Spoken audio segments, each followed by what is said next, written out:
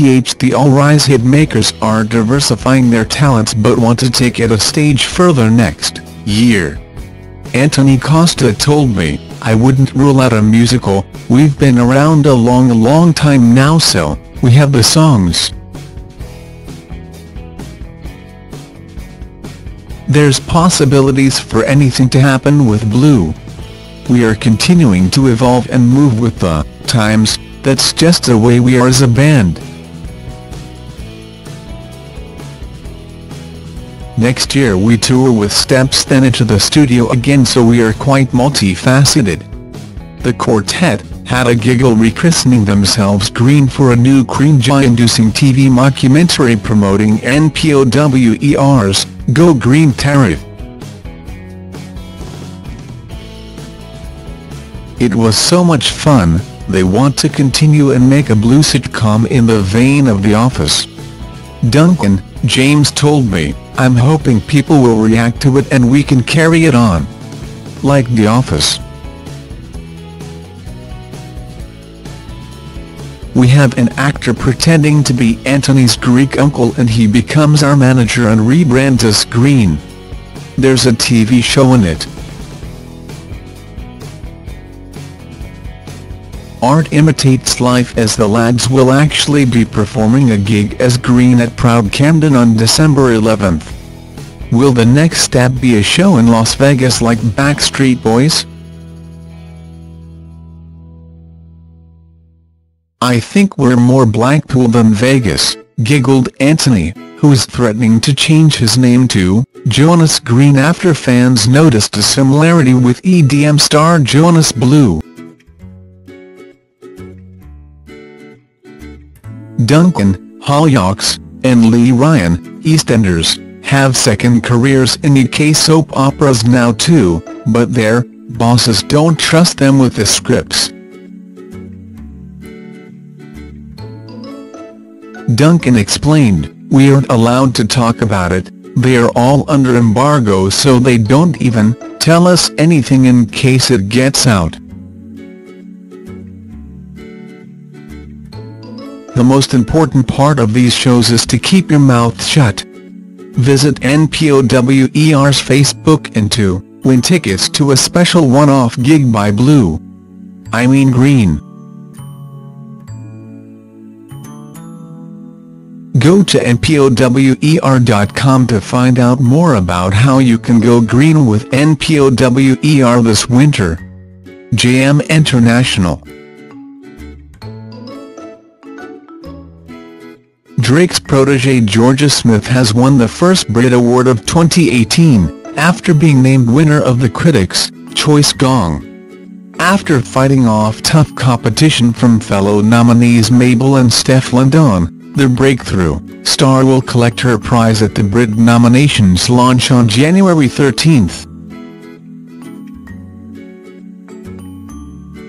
Previous winners include stars Adele, Sam Smith and James Bay. She gushed, I cannot believe it, it's been an unforgettable 2017 during which I fulfilled led so many of my dreams and this is such a special way to end the year. The Brit Awards will air on Wednesday, February 21st, live on ITV from London's O2 Arena. Tickets on sale, December 2. Dua Lipa's Hot Pictures Dua Lipa The hot songstress pictures. Girl of the Moment Dua Lipa stole the show during Poptopia. The New Rules songstress was the pop star everyone wanted to hang out with backstage. Dua was spotted, dancing with Fifth Harmony, catching up with Khalid and hanging out with Niall Horan, who snuck into the crowd to sing along to her performance. Here, here. Phil Magic disorganized Emeli Sandé has lost hundreds of songs after misplacing phones with vital notes on them. The Starlight singer admits her forgetful nature has cost her several albums worth of material. Emeli confessed, every time I lose a phone and get a new one I say to myself, this time I'm going to name, every file, date it, state which producer I was working with, and so on. And despite being 30, Emeli's mum can't stand her swearing on hip hop INFL when's track Kingdom Coming, I did try to use different words but it just didn't work. But we accept that no effect doesn't have the same effect. Why image the Rolling Stones are back in the studio after their no-filter European tour. Mick Jagger confirmed the band are working on a follow-up to last year's cover album Blue and Lonesome, by posting a snap-on, with the caption, Back in the Studio. The Rockers are working on their first LP full of original material since they released A Bigger Bang, more than 12 years ago. Fear's Fifth Harmony are about to take a break are growing as Lauren Jauregui reveals, they are ALL exploring their own projects. She admitted the girls are enjoying branching out from the group with solo endeavors.